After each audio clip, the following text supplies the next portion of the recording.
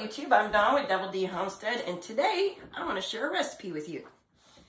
I found another old cookbook. it's not terribly old, but it was published in 1975. And it's uh, Cooking Magic Hungarian Cookbook. They had a whole series of these at the Peddler's Mall, and it's published by the Culinary Arts Institute.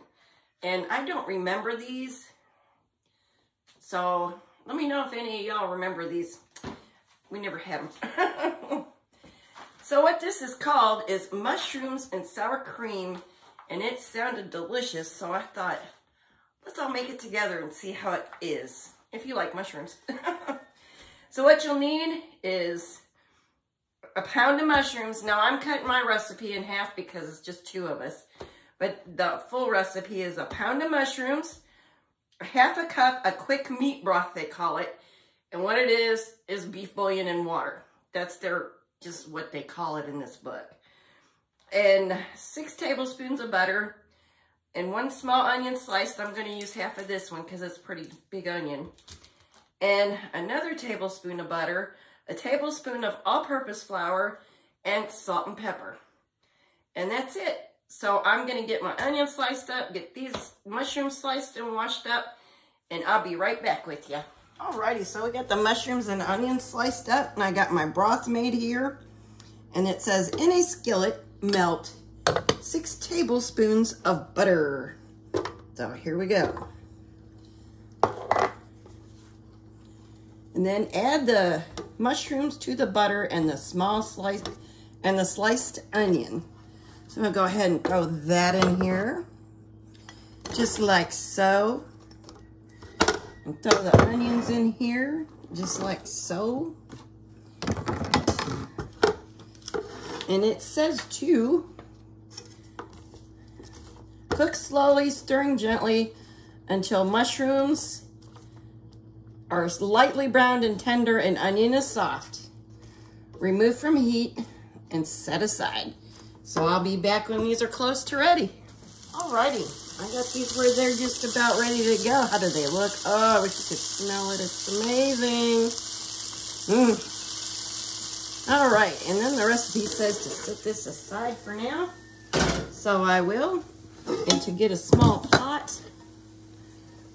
So I will. Can you see in this okay? You can see it. And to add a tablespoon of butter and melt it. And I'm gonna get this melted. And my black and white calf's still alive. She's a little sickly, so I'm gonna go get her some medicated feed today and get some medicine for her. And uh, hopefully she makes it. But she was a gamble. I got her cheap, so, you know, you get what you pay for kind of deal. But the red and white one, he's doing great. He's a big old boy. He's half Hereford and half uh, Holstein. So then you put your flour, salt, and pepper in here. And you're going to cook it till it's well blended, it says. And let me read the directions so I don't mess up.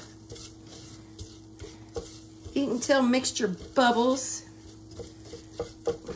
Which I guess it's bubbling.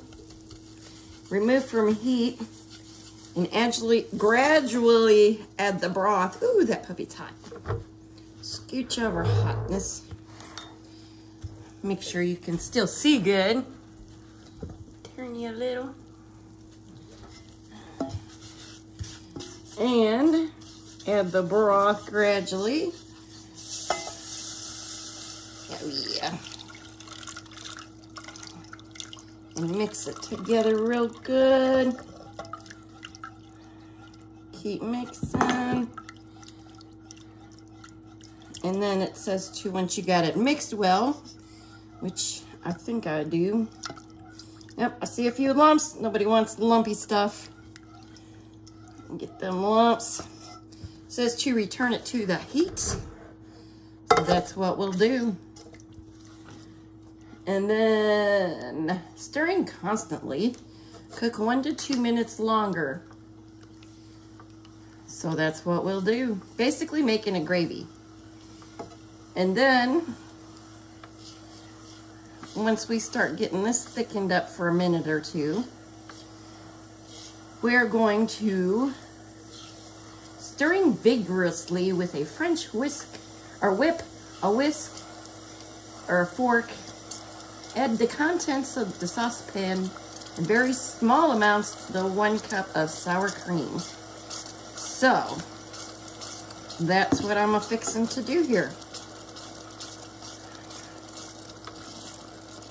Oh yeah, that's getting thick. See it?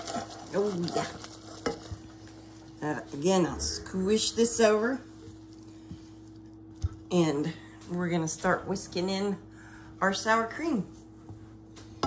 Set this here in small amounts, it says.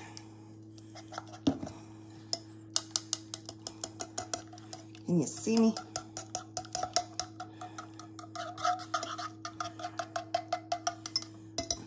I'm going to use my spatula. I don't want to scratch my pan up. I couldn't find my Teflon coated whisk. don't want to scratch it. There we go. Put another chunk in. Whoops. Whoops.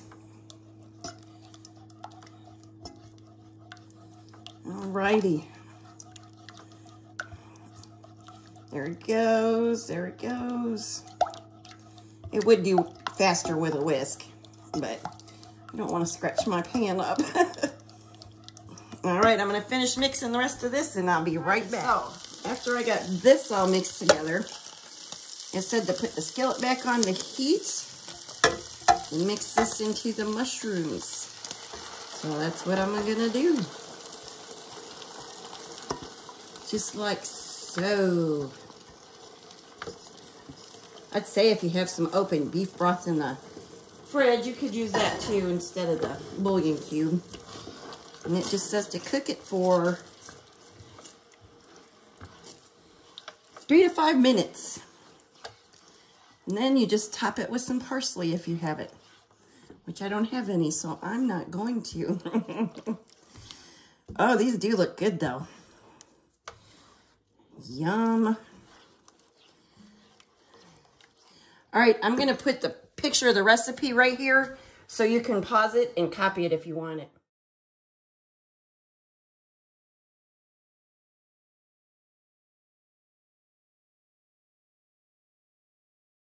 All righty. Look at that. And that is finished, my friends. I'm going to plate it up and we're going to give this a try. And it smells delicious. Alrighty, y'all. Look at that. Oh, it looks so good. Well, here goes to a new recipe. Hope y'all enjoyed this video. If you did, give me a thumbs up. And if you're new here, subscribe. And thank you to everyone that comes back every day and all my new subscribers.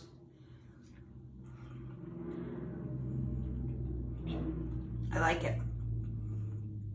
It's good. it's very good. I think I'm going to get a steak out of the freezer and have this with supper tonight. And a steak. That would be awesome. What do you think?